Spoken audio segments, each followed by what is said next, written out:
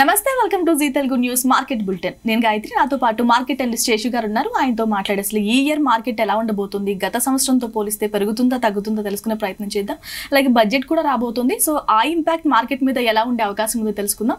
నమస్కారం శేషు గారు. నమస్తే రెండు వేల ఇరవై రెండుతో పోలిస్తే రెండు వేల ఇరవై మూడు మార్కెట్ ఎలా ఉండే అవకాశం ఉంది? సి మనకి టూ థౌజండ్ ట్వంటీ టూ ఓవరాల్గా ఇయర్ కానీ గమనిస్తే మార్కెట్స్ ఎక్కువగా కన్సాలిడేషన్లో ఉన్నాయి. అయితే ఇనిషియల్గా కొంచెం అప్ ట్రెండ్లో ఉన్నా కూడా మిడ్ సెస్ అంటే టూ థౌజండ్ ట్వంటీ టూ మిడ్లో కొంచెం మనకి వోల్టాలిటీ వచ్చింది. బట్ ఓవరాల్గా మా నిఫ్టీ పరంగా ఒక త్రీ పర్సెంట్ గెయిన్స్లో ఉంది.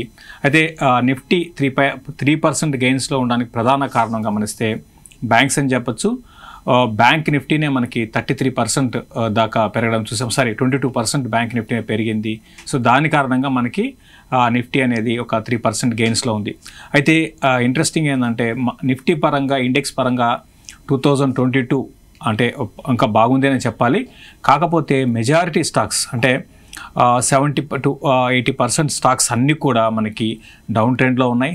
చాలా స్టాక్స్ ఏవైతే హైప్ క్రియేట్ అయిన స్టాక్స్ లేకపోతే ఐపీఓకి వచ్చిన స్టాక్స్ ఇవన్నీ కానీ గమనిస్తే చాలా కోవిడ్ టైంలో బాగా పెరిగిన స్టాక్స్ అన్నీ కూడా బాగా వీక్గా ఉన్నాయని చెప్పొచ్చు.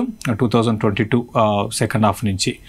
సో ఇక మనకి టూ థౌజండ్ ట్వంటీ త్రీ ఎలా ఉంటుంది అనుకుంటే నేను కూడా టూ థౌజండ్ ట్వంటీ టూ ఎలా ఉందో సేమ్ రిపీట్ అయ్యే అవకాశం టూ థౌజండ్ ట్వంటీ త్రీలో ఉండొచ్చు.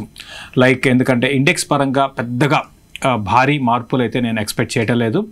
సో నిఫ్టీ పరంగా నేను అనుకోవడము న్యూ హై రీసెంట్గా వచ్చింది మనకి క్లోజర్గా nineteen thousand nineteen thousand two hundred దాటితే ట్వంటీ థౌజండ్ దాకా టూ థౌజండ్ ట్వంటీ త్రీ వెళ్ళడానికి అవకాశం ఉంది.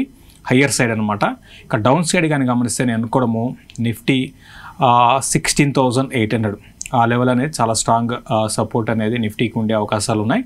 సో ఇది ఇండెక్స్ పరంగా ఇక ఓవరాల్గా స్టాక్స్ పరంగా ఎలా ఉండొచ్చు?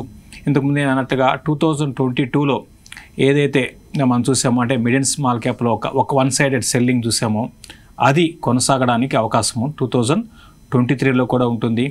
ఓన్లీ క్వాలిటీ స్టాక్స్ మాత్రమే మనకి టూ థౌజండ్ ట్వంటీ త్రీలో పెరిగే అవకాశాలు ఉన్నాయి. అయితే అవకాశాలు మార్క్ స్టాక్ మార్కెట్లో డెఫినెట్గా దొరుకుతూనే ఉంటాయి. ఏవైతే మనకి వాల్యుయేషన్స్లో అందుబాటులో ఉంటాయో అటువంటి స్టాక్స్లో ఇన్వెస్ట్ చేయండి స్టే ఇన్వెస్టెడ్గా ఉండండి.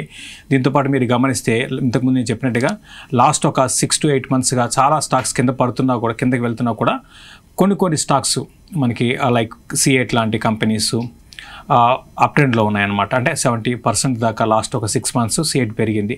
అంటే ఇటువంటి క్వాలిటీ స్టాక్స్లో మీరు ఇన్వెస్ట్ చేస్తే టూ టూ థౌజండ్ ట్వంటీ త్రీలో మంచి లాభాలు రావడానికి అవకాశం ఉంటుంది. ఏదైనప్పుడు కూడా టూ థౌజండ్ ట్వంటీ త్రీ అనేది మనకి వోల్టాలిటీ ఉండొచ్చు. At the same time stock specific ఉంటుంది. ఓన్లీ వాల్యూ స్టాక్ మాత్రమే పెరగడానికి అవకాశం ఉంటుందండి. శేషు గారు అంటే బ్యాంక్ నిఫ్టీ ఎంతవరకు వెళ్ళే అవకాశం ఉంది? సి బ్యాంక్ నిఫ్టీ అనేది చాలా అంటే రీసెంట్ డేస్లో మనం చూస్తున్నాము. లాస్ట్ ఫ్యూ మంత్స్గా మరీ ముఖ్యంగా ఫోర్ ఫైవ్ మంత్స్గా వన్ సైడెడ్ ర్యాలీ అనేది బ్యాంక్ నిఫ్టీలో మనం చూసాము. బ్యాంక్స్ కారణంగానే నిఫ్టీ ఈరోజు న్యూ హైస్ వైపు వచ్చిందని చెప్పొచ్చు. అయితే బ్యాంక్ నిఫ్టీని అనుకోవడము ఇక్కడ కొంచెం ఆగడానికి అవకాశం ఉంది. ఆల్రెడీ మనకి లాస్ట్ కపుల్ ఆఫ్ డేస్ నుంచి బ్యాంక్ నిఫ్టీ హయ్యర్ లెవెల్స్లో కొంత ప్రాఫిట్ బుకింగ్ అనేది చూస్తున్నాము. నేను అనుకోవడం higher forty five to forty six thousand higher side అనుకోవచ్చు. ఇక డౌన్ సైడ్ కానీ గమనిస్తే నేను అనుకోవడం అరౌండ్ థర్టీ సిక్స్ థౌజండ్ ఆ లెవెల్స్లో బ్యాంక్ నిఫ్టీ అంటే అంతకుమించి భారీగా అయితే పడకపోవచ్చు. బట్ కంపారిటివ్లీ నిఫ్టీ చూసుకుంటే నేను కూడా బ్యాంక్ నిఫ్టీ కొంచెం పడినప్పుడల్లా కూడా మళ్ళీ బౌన్స్ అయ్యే అవకాశాలు బ్యాంక్ నిఫ్టీలో ఉన్నాయండి. శేషు గారు అంటే రెండు వేల ఇరవై రెండులో బ్యాంకింగ్ స్టాక్స్ అనేవి మంచి ర్యాలీ ఇచ్చాయి. సో అది ఎక్స్పెక్ట్ చేయొచ్చా రెండు వేల ఇరవై మూడులో? లేదండి ఇప్పుడే నేను చెప్పినట్టుగా బ్యాంక్ బ్యాంకింగ్ స్టాక్స్లో కొంచెం ఒక కన్సాలిడేషన్ ఒక ఒక భారీ ర్యాలీ తర్వాత మనకి ఒక బ్రహ్మాండమైన non stop rally bank banking స్టాక్స్లో చూసాము. అటు పిఎస్యు బ్యాంక్స్లో చూసాము.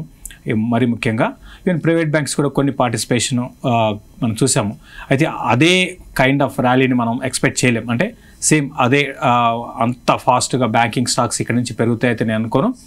సో కొంచెం ఇక్కడ బ్యాంకింగ్ స్టాక్స్ ఒక కన్సాలేషన్ లాంగ్ టర్మ్ కన్సాలేషన్ అంటాము. అంటే అట్లీస్ట్ ఒక ఫోర్ టు ఫైవ్ మంత్స్ ఒక రేంజ్లో మనకి బ్యాంక్ నిఫ్టీ కొనసాగడానికి అవకాశం ఉందండి